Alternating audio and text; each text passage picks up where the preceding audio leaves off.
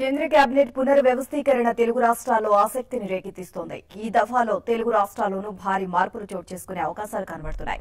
దత్తాత్రేయ రాజీనామా చేయగా ఆ స్థానాన్ని ఇక్కడి నుంచే భర్తీ చేయొచ్చని సమాచారం.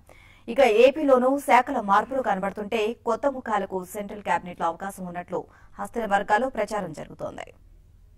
ఆదివారం జరిగే కేబినెట్ పునర్వ్యవస్థీకరణలో తెలుగు రాష్ట్రాల్లోనూ భారీ మార్పులు చోటు చేసుకోవచ్చని తెలుస్తోంది.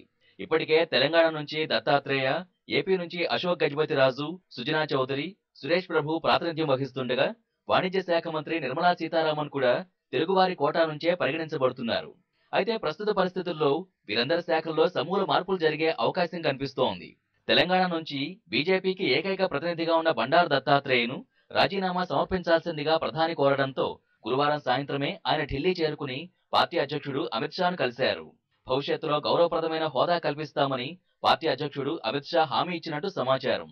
వెంటనే ఆయన రాజీనామా సమర్పించి హైదరాబాద్ వచ్చేశారు. ముందుగా అనుకున్న జాబితాలో దత్తాత్రేయ పేరు ఎక్కడా వినిపించినప్పటికీ రాత్రికి రాత్రే ఆయన చేత రాజీనామా చేయించడం అందరినీ విస్మయానికి గురిచేసింది అయితే దత్తాత్రేయను ఏదైనా రాష్ట్రానికి గవర్నర్ని చేస్తారని తెలుస్తోంది. ఈ స్థానాన్ని బీజేపీ జాతీయ ప్రధాన కార్యదర్శి మురళీధర్రావుతో భర్తీ చేసే అవకాశం ఉందని బీజేపీ వర్గాలు భావిస్తున్నాయి. మురళీధర్రావు ప్రస్తుతం తమిళనాడు బీజేపీ వ్యవహారాల ఇన్ఛార్జిగా ఉన్నారు.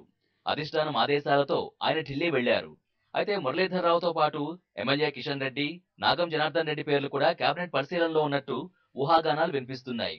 ఇదే సమయంలో తెలంగాణ ముఖ్యమంత్రి కేసీఆర్ కూడా ఢిల్లీ పర్యటనకు రావడంతో ఎన్డీఏలో టీఆర్ఎస్ కూడా భాగస్వామి కానుందా అన్న ఊహాగానాలు హస్తినలో జోరందుకున్నాయి. ఇక ఏపీ విషయానికొస్తే మొన్నటి వరకు సీనియర్ మంత్రిగా ఉన్న వెంకయ్య నాయుడు ఉపరాష్ట్రపతిగా వెళ్ళడంతో రాష్ట్రంలో బీజేపీ పాత్ర మరింత పెంచేందుకు ప్రస్తుత రాష్ట్ర బీజేపీ అధ్యక్షుడు కంభంపాటి హరిబాబు లేదా గోకరాజు గంగరాజుల్లో ఒకరికి సహాయ మంత్రి పదవి దక్కచ్చని ప్రచారం జరుగుతోంది. ఇక నిర్మలా సీతారామన్కి ఇప్పటికే గుజరాత్ ఎన్నికల బాధ్యతలు అప్పగించగా దానికి అదనంగా పార్టీ అధికార ప్రతినిధి పదవి ఇవ్వచ్చని చర్చ జరుగుతోంది. అయితే పనితీరు రీత్యా నిర్మలా సీతారామన్కి పదోన్నతి కూడా లభించే అవకాశం లేకపోలేదు. మరోవైపు ఎన్డీఏలో భాగస్వామిగా ఉన్న టీడీపీ తమకు మరో సహాయ మంత్రి పదవి కావాలని చాలా కాలంగా కోరుతోంది.